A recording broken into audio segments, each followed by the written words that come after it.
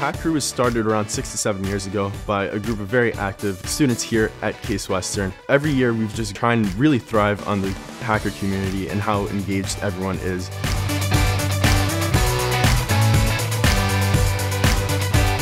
Our project that we're working on is the electric maraca. Open source tool for anyone to look up a stock and find all uh, a bunch of key metrics about it. Smart toilet paper dispenser. Stock analysis project. App that lets you like exchange books for free. You can ask it and it'll get you song data about the songs that are currently playing from Genius. Little robot meant to be able to get really excited when he sees you. Create a sort of accounting tool using a blockchain interface. A website that focuses on displaying information about wealth inequality.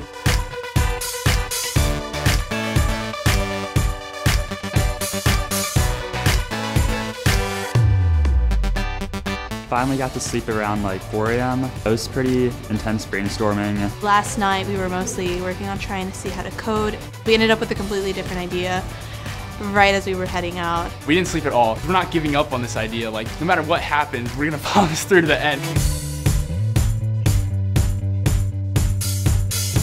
It was completely different from other hackathons I've gone to. I really like the space that the students were able to use. The fact that they were able to build physical prototypes, I think that was really amazing. There's always someone there ready to help you with anything. It's such a great opportunity that I can't pass up trying to do something with hardware.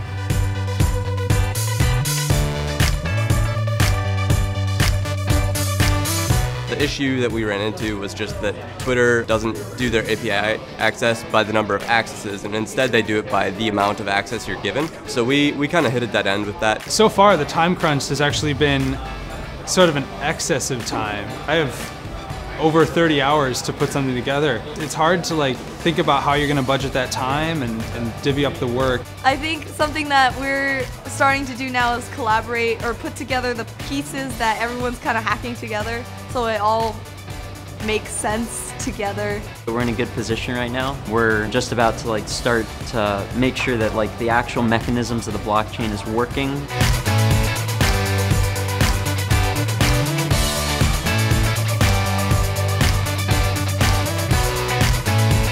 The judge like cares about different things.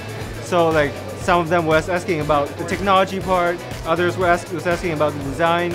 They were they were very interested in taking the project further and continually develop it after the hackathon. You think after 36 hours you're going to come in here and it's going to be a bunch of people sleepwalking through it, but it's, I think it's just because of the great stuff they put together. We ended up with uh, a lot of energy. I judged the first timers, beginners, which were 13 teams. One didn't make it to the end, but the 13 teams, they glowed. So this was really, really great. We had a great time, really cool ideas. It was just really impressive what people managed to do in 36 hours. I think software hacks are super impressive, but hardware ones have software in them too, and they're just so much more frustrating to build and seeing people having completed them is just really impressive. So they were their projects way better than anything I've ever made. I think that I would never have been able to push myself to work for essentially 24 hours straight. The fact that I squeezed it in 24 hours was definitely due to the environment. Well, this is the biggest hackathon we've had in the history of the hackathon. We had more workshops than ever this year. We had more attendees than ever. Going forward, we're going to make sure we stay focused on learning and making sure that people are involved. Make sure to register for next year.